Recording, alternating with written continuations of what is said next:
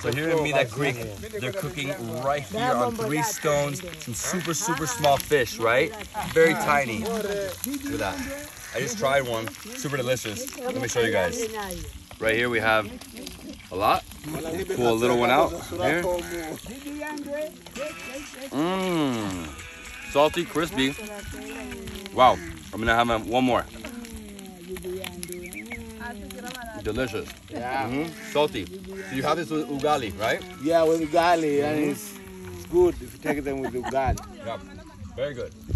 Wow, it's nice and crunchy. I would have the whole thing.